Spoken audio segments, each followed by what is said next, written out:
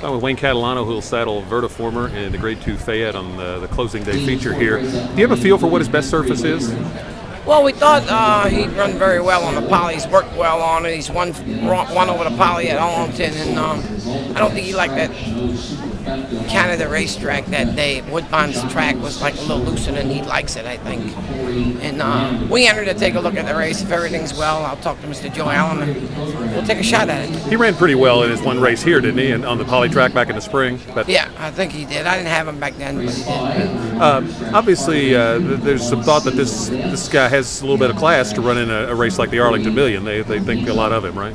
Well, he was training very well, and you know, it's only one on the million, but uh, it come up a soft turf course, which he don't really like, and we thought it was a little bit firmer than it was, and he don't handle a soft turf course. What about from a distance standpoint? What's the best for him? Uh, I think he'll handle the distance.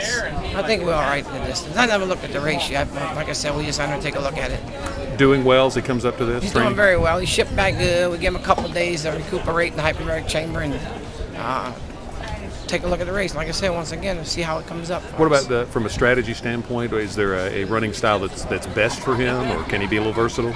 Yeah, he'd like to just sit back and you know make one run, not lay up so close like he did up in Canada. So I think that's probably his best.